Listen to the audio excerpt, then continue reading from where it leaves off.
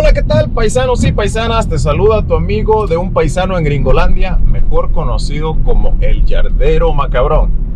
Paisanos, como les comenté en el video anterior, de que les iba a compartir las aplicaciones este, que uso con la que mis clientes me pagan, ya que como les mencioné también en el video anterior, ya casi nadie me paga con cheque.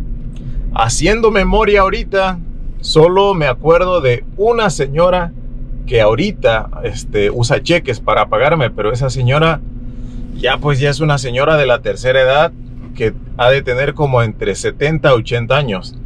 O sea que digamos que pues se puede entender porque pues ya ahorita los, los, las personas de la tercera edad pues no usan tanto la tecnología, ¿verdad? Están como a la antigüita. Y esa es la única señora que me paga con, con cheque. Hay otras, hay otras que me pagan en cash también. Pero esas personas que me pagan en cash me están preguntando que si uso una de estas aplicaciones. Así que este, ya me están empezando a pagar a través de estas aplicaciones. Pues bien, paisanos, no se hable más. Vámonos a lo que nos truje chencha. Lo que me gusta, paisanos, de usar estas aplicaciones es de que recibes el, el pago pues de inmediato. No es como antes, como cuando antes te mandaban un cheque, pues tenías que esperar hasta, no sé, cuatro o cinco días. Ahorita te voy a explicar este, cómo funcionan exactamente. Otra cosa, paisanos, que tienen estas aplicaciones es de que no solo este, las puedes utilizar, digamos, si tienes negocio y para que te paguen. No, paisanos, estas aplicaciones las puede usar cualquier persona y no solo para recibir dinero, también la puedes utilizar para pagar. Pues es lo que hacen mis clientes, para eso la utilizan, para pagarme. Para no estar escribiendo el cheque y, o dejando el cash ahí debajo de los tapetes en riesgo y pues se lo roben, ¿no? Así que pues de esta manera pues a ellos se les hace más práctico y sencillo y más seguro. Las tres aplicaciones que yo uso, por aquí les voy a ir poniendo el nombre y el logotipo. Vamos a empezar por PayPal. La otra es Venmo y la otra es Cele. Es Cele, pero en inglés me cuesta un poquito de trabajo pronunciarlo. Es Silly, algo así, algo así. PayPal y Venmo funcionan igual. De hecho, es la misma compañía. De hecho, primero crearon a PayPal y PayPal después creó Venmo.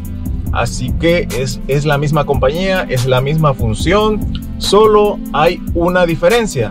La diferencia que yo noto entre las dos es que la compañía de PayPal está internacionalmente, o sea, este, en varios países la puedes utilizar, como por ejemplo, si tú tienes un familiar, digamos, en Perú, y, y la persona que tú le quieres mandar tiene esa aplicación, lo cual es muy fácil de agarrarla, simplemente pues llenas ahí este los requisitos que te piden, que no son muchos ni son complicados de conseguir. Y si tú tienes la aplicación aquí, pues, y le quieres mandar dinero allá, tú le puedes mandar, no sé, 100 dolaritos, 200 dolaritos, y ¡pum! Los recibe la otra persona allá, en, en el país que tú quieras mandar. Esa es la única diferencia que yo encuentro entre esas dos aplicaciones. Y te voy a dar solo una explicación para las dos porque te digo, es lo mismo, solo es esa la diferencia. Ok, ¿cómo funcionan estas aplicaciones? Pues lo primero que tienes que hacer es bajar la aplicación, ya sea Venmo o PayPal o las dos, la que gustes usar. Bajas la aplicación, la aplicación te pide ciertos requisitos como tu correo electrónico, tu número de teléfono, este, tu dirección y no estoy seguro si también te pide el número ITIN como requisito. ¿eh? Me parece que no, no, no es necesario que lo pongas. Solamente si abres una cuenta de negocio, me parece que solamente ahí si te lo pide. Pero si abres una cuenta así nomás personal, me parece que no es un requisito obligatorio, ¿eh? No estoy seguro. Yo en lo personal, yo me acuerdo que yo sí lo metí, sí lo puse en las dos. La aplicación te va a pedir que asocies una cuenta de banco. ¿Para qué?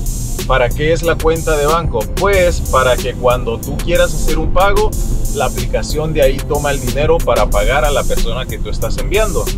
O cuando este, una persona te, te, manda dinero a ti o te pague, pues tu dinero va a la aplicación y la aplicación lo manda al banco. Bueno, tú lo mandas, tú lo haces porque tú lo tienes que hacer manualmente. Esa transacción de pasar el dinero a la cuenta de banco. Ahora, ahora aquí hay algo que te quiero explicar. Cuando tú haces esa transacción, este, ese, por ejemplo, que una persona te mande 200 dólares. Tú tienes los 200 dólares en la aplicación. Todavía no refleja en tu cuenta de banco. Lo que tienes que hacer es tú ir a la aplicación, le das este mandar a tu cuenta de banco y ahí, ahí la aplicación te da dos opciones.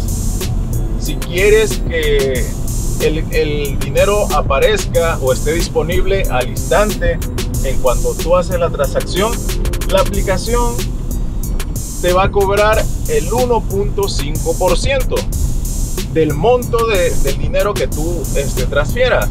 El 1.5%. ¿Eso qué quiere decir? Que por cada 100 dólares la aplicación te va a cobrar este, un dólar con 50 este, centavos.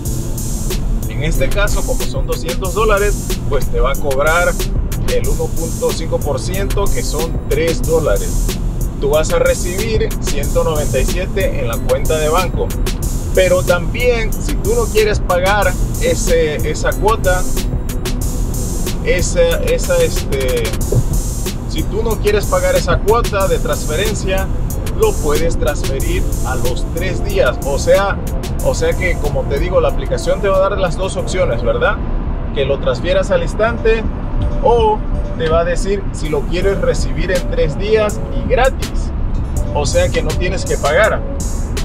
Ya es opcional tuyo. Si lo quieres de inmediato o si quieres esperar tres días. Pero pues igual a mí se me hace este muy muy práctico usar estas aplicaciones. Aunque se tarden tres días si no quieres pagar o aunque tú lo transfieras de inmediato. Es práctico, sencillo y pues muy fácil de usar. Ahora se preguntarán, oye, pero ¿cómo le hacen para encontrarme o para que el dinero me llegue exactamente a mí y no a otra persona? Bueno, pues este hace rato te dije que la aplicación te pide ciertos requisitos y te, te mencioné tres. El número de teléfono, el correo y, la aplicación te pide que metas un nombre de usuario, un username.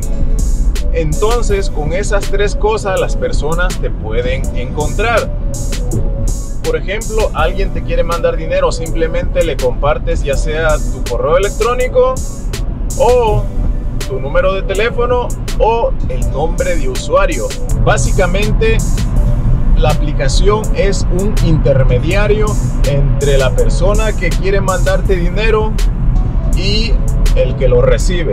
Ahora te quiero explicar la otra aplicación, que es esta de Cele. Esta aplicación ya viene incluida en la aplicación de tu banco. Ahorita casi todos los bancos la están usando. Ya viene, por ejemplo, si estás en el Banco de América, en el US Bank, en el Chase, que son bancos este, de aquí de Estados Unidos, este, en cualquier banco. Yo me atrevo a decir que ya ahorita todos los bancos aquí en Estados Unidos tienen esa, esa función. Ya viene, ya viene ahí. Simplemente si la quieres utilizar, búscala en la aplicación de tu banco siempre y cuando bajes la aplicación, o sea, de tu banco. Ya nada más buscas esa función de Cele, la activas porque la tienes que activar y ya la puedes usar. Es muy sencillo de usar también. Y funciona igual, igual que las otras. Para que tú puedas mandar a través de esa aplicación, la otra persona la tiene que tener activada también, que, a la cual tú le quieras mandar el dinero. Tiene que activarla también. Y una vez activando esa función, pues ya puedes recibir y mandar dinero. La ventaja de usar esta aplicación es de que aquí tú no pagas ninguna cuota. Simplemente, hasta incluso no, no es como un intermediario. Simplemente es una comunicación entre banco a banco.